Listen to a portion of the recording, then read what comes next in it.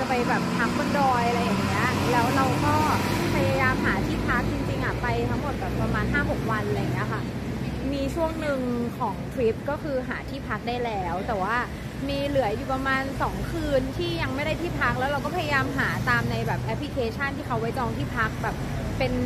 เขาเรียกว่าอะไรเชื่อถือได้อะไรอย่างเงี้ย แต่มันยังไม่มีที่ที่ถูกใจก็เลยพยายามลองไปหาทางแพลตฟอร์มอื่น ซึ่งก็เลยมาจบที่แพลตฟอร์ม Facebook เนาะ เราอะตอนนั้นอะไม่ได้ไม่ได้ทันคิดทั้งทั้งที่ดูข่าวอยู่ตลอดนะคะ แต่ว่าพอถึงข่าวตัวเองจริงๆอะเราก็แบบพยายามลองหาแล้วก็ไปเจอที่หนึ่งแบบเฮ้ยมันสวยมากเลยก็เลยลองทักไปถามเขาพอทักไปถามเขาเขาก็ได้คำตอบมาว่า วันที่เราอยากไปอะสองคืนอะมันว่างนะ ก็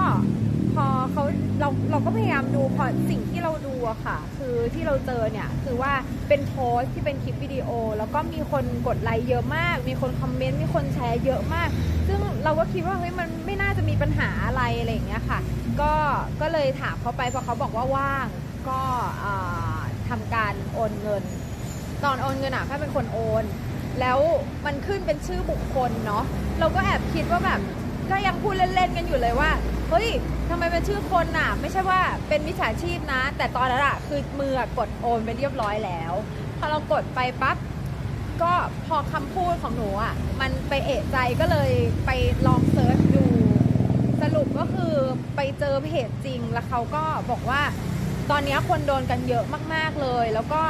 อยากจะเตือนทุกคนไว้ค่ะว่าจริง ๆ แล้วอะไม่ว่าจะเป็นทาง Facebook หรือว่าทางแพลตฟอร์มไหนก็ตามส่วนมากถ้าไม่ไม่ใช่ว่าแบบ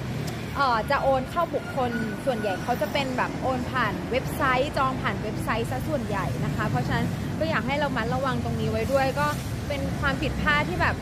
เราเอะใจก็จริงแต่มันตอนนั้นมันสายไปแล้ว แล้วก็มารู้ที่หลังว่าพอเรามา search เนี่ยมีชื่อของที่พักที่เนี่ยเป็นเพจปลอมแบบประมาณหลายสิบอันเลยอะค่ะ ก็อยากให้เป็นอุทาหรณ์ของหลาย ๆ คนว่าเวลาอยากจะจองอะไรอะให้แบบใจเย็น ๆ เข้าใจว่าแบบช่วงเนี้ยคนน่าจะโดนแบบป้ายกันเยอะ แล้วก็มีหลายคนที่โดนมูลค่าสูงกว่านี้ แล้วก็ไม่ใช่แค่จังหวัดเดียว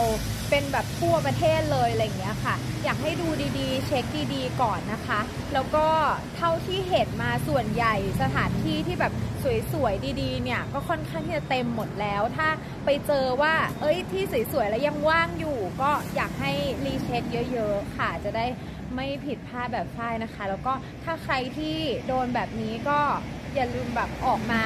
ปกป้องสิทธิ์ของตัวเอง แล้วก็รีบโทรอายัด บัญชีของเออทั้งปลายทางแล้วก็ต้นทางของเราด้วยค่ะ แล้วเงินที่คุณป้าเสียไปเนี่ยเป็น 60%ของค่าที่พัก ไม่ค่ะ หนูโอนร้อยเปอร์เซ็นต์เลยอ๋อค่ะ คือจำนวนนั้นคือ100%เลย ใช่ค่ะอ๋อก็คือโอนร้อยเปอร์เซ็นต์เลย เพราะว่าตอนนั้นอะคือเรารู้สึกว่ามันแบบอีกไม่กี่วันเนี้ย ประมาณไม่ถึงครึ่งเดือนเราก็ไปแล้ว คือตอนนั้นอะเอาจริง ๆ คือหนูแบบรู้สึกว่าตัวเองแบบ แบงค์ไปเลยคือ ด้วยความที่เราเข้าใจฟิลของคนที่โดนเลยว่าพอถึงเวลาจริง ๆ อะ เราจะรู้สึกว่าแบบเราดีใจอะ เราหาเราพยายามหามาแบบวันสองวันแล้ว แล้วมันยังไม่ได้ที่พักสักทีแล้วเราเจอที่แล้วแบบ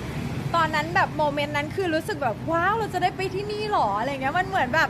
มันมันเหมือนเราไม่ได้คิดกับเรื่องที่แบบเกิดขึ้นกับคนอื่นเลยอะไรเงี้ยค่ะ ก็เลยตัดสินใจแบบโอนไปเต็มจำนวนเลย